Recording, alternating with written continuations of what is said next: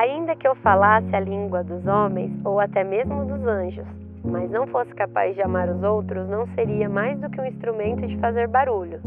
Se eu tivesse o dom de falar em nome de Deus, e se soubesse os mistérios do futuro e conhecesse tudo acerca de tudo, mas não amasse aos outros, do que me serviria?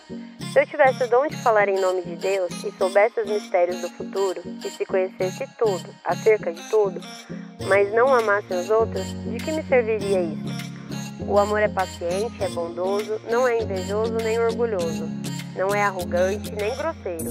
O amor não exige que se faça o que ele quer. Não é irritadiço, dificilmente suspeita do mal, que os outros lhe possam fazer.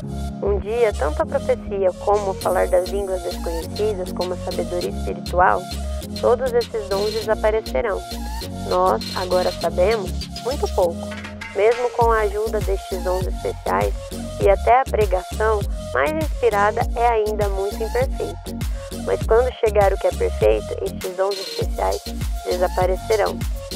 E assim, quando eu era criança, falava, pensava, raciocinava como uma criança.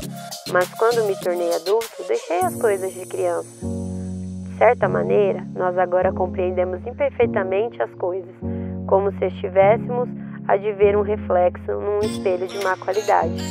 Mas um dia virá em que veremos de uma forma completa, face a face. Há três coisas que hão de perdurar: a fé, a esperança e o amor. E dessas, a principal é o amor.